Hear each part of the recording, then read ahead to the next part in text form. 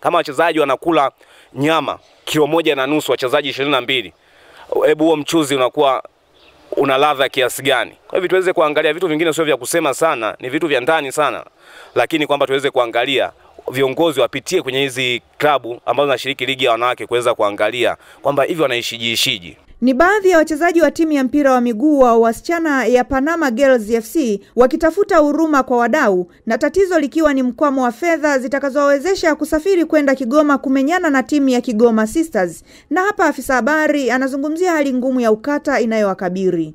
Lakini kwa sasa tuangalie namna gani ya kuisafirisha timu ba, bado. Lakini baadhi ya viongozi wanasema kwamba uh, tuwe na mradi wa kudumu, na tunashukuru kwamba tukatai kuwa na mradi kwa sababu wanasema tutafutia ardhi ili kwamba na mradi ambao mpendekeza tulime miti. Sasa tukilima miti miti miaka kumi, tunazungumzia safari ya kesho kutwa, ligi ya kesho kutwa ambayo ligi inamalizika tarehe kumi na sita.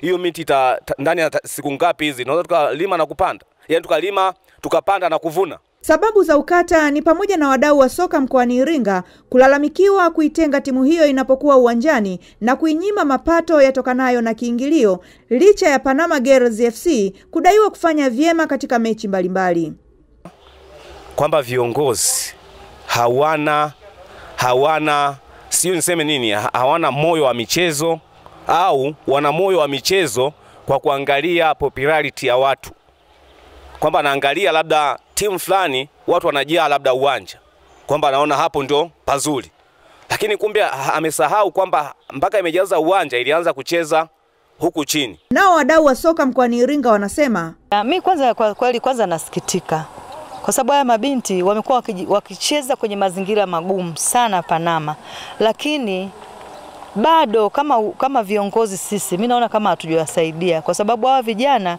wanatakiwa sisi tuwasaidie. Kuna mkoa, kuna wilaya, kuna maafisa utamaduni eh, kuna wadau mbalimbali wa michezo, na tunajua faida za michezo katika maeneo yetu.